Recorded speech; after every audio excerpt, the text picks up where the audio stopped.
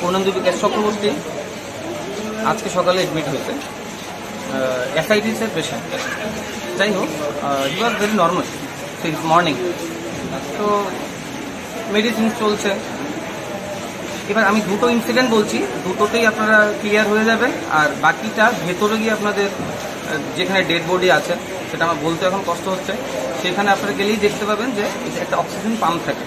সেই অক্সিজেন পাম্পটা লাগান যায়নি। কেন যায়নি? না ছিল নার্স, না ছিল কোনো ডক্টর। এক নম্বর পয়েন্ট আর যেখানে আপনার অক্সিজেনের দরকার ডাকছে, আর একজন নার্স, আপনি এখানে আমার আশেপাশে যতজন রোগী আছে, ওদের থেকে শুধু একবার জিজ্ঞেস করবেন যে আজকে লোড লোডশেডিং এর কথা আমি দিলাম। দুপুর থেকে কজন নার্স মানে এরা সবাই দেখেছে। ওর কি হয়েছে? স্যালাইন চলছে লাইফ সেভিং আপনার ইসে চলছে ইনফিউশন চলছে। তো দেড় ঘণ্টা দেড় ঘণ্টা ডক্টর বাবু জানে, দেড় ঘণ্টা ওকে স্যালাইন খোলা ছিল, কারণ স্যালাইনটা খুলে গেছে। তো বললাম, এটাকে আবার অ্যাডজাস্ট করতে সময় নেই এদের। সময় নেই নার্সই তো নেই। এটা লাইফ সেভিং ড্রাগ যদি এইসব পেশেন্টের দেড় ঘণ্টা বন্ধ থাকে, তো পেশেন্ট তো মরবেই, এক নাম্বার পয়েন্ট কমপ্লিকেশন শুরু হয়ে গেছে। যখন শ্বাসকষ্টর মতো হচ্ছে, ওর মা, ওর ফ্যামিলি মেম্বার্স আমি ওর ফ্যামিলি মেম্বার আমি ওর কাজিন ব্রাদার সবাই ডাক্তারকে চিৎকার করে ডাকছে চিৎকার করে ডাকছে। ডাক্তার নেই। কেউ নার্স নার্সও কি ছিল না? নার্স তো একজন নার্স পুরো। মানে ওই মানে ওই আপনার বেড থেকে একদম লাস্ট বেড অব্দি তো একজন নার্স। আপনি আমার কথা বিশ্বাস না হতে পারে আপনি বাইক নিতে পারেন এখানে যতজন লোক আছে।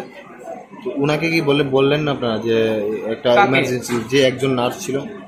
আর একজন নার্স তো ওইখানে থাকে আমার পেশেন্ট থাকে ওইখানে। তা আমি কাকে বলব? বলবোটা কাকে?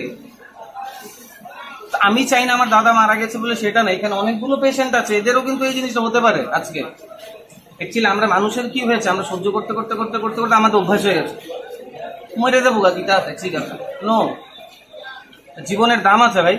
আমাদের রাজ্যের, আমি মানে জানি মানে আমরা সবাই জানি যে আমাদের রাজ্যের সিএম ডক্টর বাট ওনার যদি এরকম সিএম এর যদি এরকম থাকে, তাহলে আমরা মানে আমরা কি বলব? This is very bad this is very bad একটা ডাক্তার নেই, আর পিজি ডক্টর দিয়ে কি আপনার এরকম সিরিয়াস পেশেন্ট অনেক আছে? চলবে? এরা প্র্যাকটিস করছে। ওর পড়াশোনা করছে। আপনার খোঁজ নিয়ে দেখুন হোস্টেল হোস্টেলের বাচ্চারা স্টেথো লাগিয়ে মানে এখানে ঘোরাঘুরি করে। হোস্টেল ফোস্টেলে বাচ্চারা, এরা ডাক্তার হবে, ভবিষ্যতে হবে। Would be doctors they are treating such patients তো এরকম হবে আজকে। আমার দাদা মারা গেছে। হতে পারে, আমি বলি না এরকম হোক। ঈশ্বরের ইসেতে।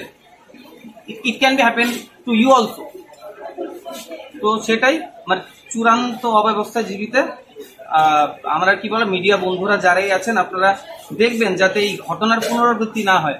আমার গেছে গেছে। বাকিদের যাতে না যায়। আপনারা খবর নিয়ে দেখুন শুধু।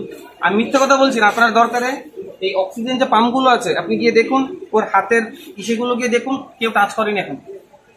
অক্সিজেনটা একটা ছবি তুললেই তো বুঝতে পারবেন আর ডাক্তার থাকলে তো অ্যাটলিস্ট একটা পেশেন্ট যখন মারা যায় তার তো নাকে নলটা থাকে। তারপরেই তো মারা যায়। আপনি গিয়ে দেখুন না তো পাইপই নেই ওরা তো পাইপই সাপ্লাই করেনি অক্সিজেনের। অক্সিজেন কন্টেনার থেকে তো অক্সিজেন যাওয়ার জন্য পাইপ লাগবে তো এই পাইপটা কোথায়?